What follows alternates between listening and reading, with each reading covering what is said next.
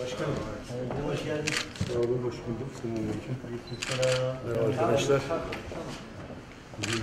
Selam hoş geldin. Hoş geldin. Hoş geldin. Hoş geldin. Hoş geldin.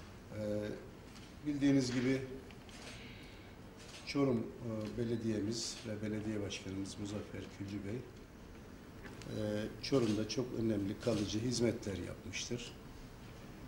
Bu hizmetler özellikle e, merkezi iktidarın yani hükümetimizin e, sağladığı kimi kolaylıklar da dikkate alınırsa hükümet ve e, yerel yönetim, belediye uyumlu bir çalışma içerisinde olmuştur ve biz de bunun meyvelerini görmüş durumdayız. 30 Mart tarihinde yapılacak seçimlerde de Çorum halkı yine basiretli davranarak merkezi hükümetle uyumlu bir belediye başkanlığını e, yeniden Sayın Başkan'a tevdi edecektir. Ben e, Sayın Başkanımıza ve henüz ilan edilmemiş olmakla beraber tüm ilçelerimizdeki e, aday arkadaşlarımıza başarılar diliyorum. Bu vesileyle tabii e,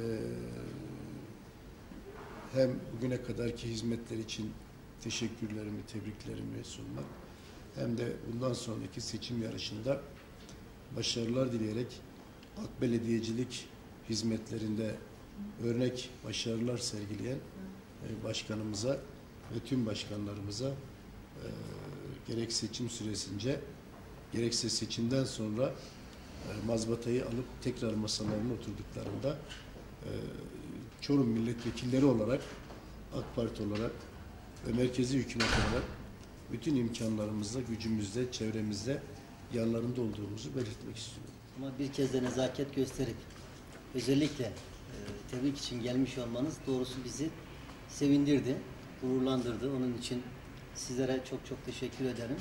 Sizlerle birlikte il başkanımıza, ilçe başkanımıza, yönetim kurulu üyesi arkadaşlarımıza da ayrıca teşekkür ediyorum. Bugün gerek az önce sizin ifade ettiğiniz, gerekse organize sanayi bölgesindeki toplantıda konuştuğumuz hususlar gerçekten çok çok önemli. Gerek siyasal aktörlerin kamu kurumlarıyla olan ilişkilerindeki tesanüt, dayanışma, gerekse kamu kurumlarının kendi içerisinde bir taassup anlayışı yerine birbirleriyle işbirliği içerisinde projeleri takip etmeleri ve meseleleri senin ya da benim işim yerine memleketin meselesi Çorum'un konusu şeklinde değerlendirmesi Çorum'un sorunlu birçok işinin halledilmesinin önünü açtı.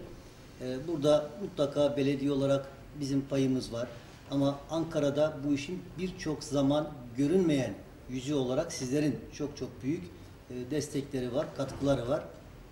O anlamda ben sizlere teşekkür etmek isterim bu vesileyle. Tabii işin siyasi motivasyon anlamında, siyasi destek anlamında, kamuoyundaki pazarlanması ve sunumu anlamında da e, teşkilat mensubu arkadaşlarımızın çok büyük destekleri var.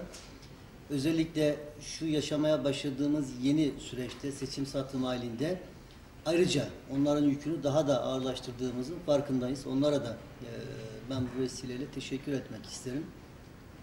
Gerçekten Çorum'da belediyecilik anlamında güzel bir dönemi geride bırakıyoruz. İşte birkaç gün sonra inşallah genel bir değerlendirme toplantısını yapacağız. Orada da verileri halkımızın önüne koyacağız. Ee, Her ne kadar sık sık tekrarlansa da birçok şey unutuluyor yoğunluk içerisinde. Onları bir kez daha hatırlatıp hafızalarda tazelenmesini sağlayacağız.